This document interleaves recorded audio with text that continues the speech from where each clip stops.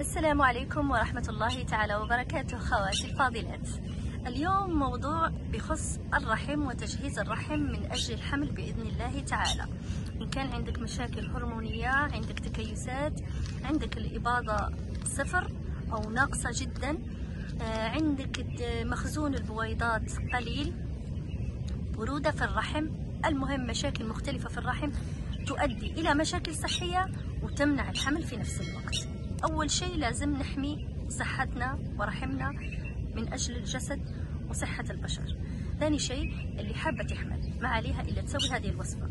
سواء سويتيها في هذه الفترة حقت شعبان أو سويتيها في رمضان راح أعطيكي طريقة سهلة وبسيطة بسبع حبات تمر. تختلف عن بعضها البعض. وصفة قيمة ورائعة جدا قوية وفعالة. وصفة الجدات نافعة لأكثر من أشخاص. أنا سويتها لأكثر من من سيدة.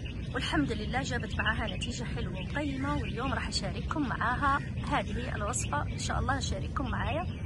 إن شاء الله تستفيدوا ادعوا لي ربنا سبحانه وتعالى.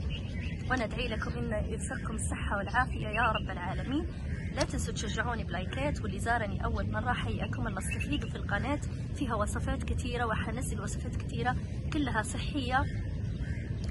وكلها نافعة وحقيقية وفعالة وقوية. بمكونات بسيطة بدون إطالة أختي الفاضلة أختي الكريمة. إذا حبيتي تنظفي الرحم عندك تكيس مبيض أو التبويض عندك ضعيف ما تكبر البويضة. فهذا الفيديو جدا مهم. راح ينظف لك الرحم.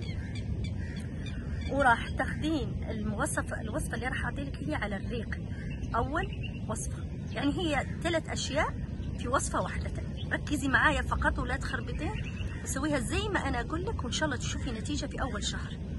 إن ما نفعت معاك وكانت المشاكل متعددة في الرحم كرريها شهرين أو أكثر وراح تشوفي نتيجة بس أنا أتمنى أول شهر تبشروني إن شاء الله. حتى لو كانت السيدة متقدمة في العمر وما عندها الدورة تقدر تسويها عشان تحافظ على الرحم وتمنع التليفات وتمنع الأكياس وتمنع كل مشاكل الرحم.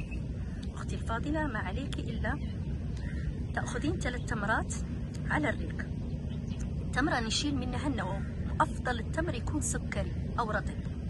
ما يكون التمر العادي. فهمتي علي؟ يعني تأخذين الرطب. الرطب. ثلاث حبات تفتحينها. بسم الله الرحمن الرحيم. تشيلي النوى وتحطين عليها حب الرشاد تعرفون حب الرشاد أنا سويت أكثر من وصفة بحب الرشاد تعبيها وتقري عليها سورة الفاتحة. ثلاث مرات أو سبع مرات. التمر ثلاث حبات والقراءة تكون ثلاث مرات أو سبع مرات. okay؟ تستعملين هذه الوصفة مباشرة بعد الدورة. واللي ما كان عندها الدورة تستعملها أي وقت. في ناس عندها خربطة. واللي عندها نزيف على طول متواصل استحاضة أو نزيف أو عندها سماكة بطانة الرحم تستعملها عادي حتى لو هي تنزف. أوكي؟ لأن كده بنعالج بها الرحم. بس بالنسبة للسيدات اللي حابين يحملوا يسووها مباشرة عقب الدورة.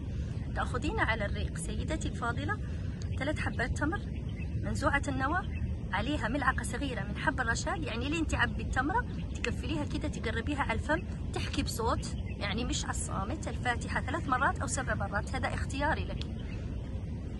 أوكي؟ وتأخذينها على الريق تشربين وراها الموية. النية تكون طيبة وإن شاء الله يكرم الجميع.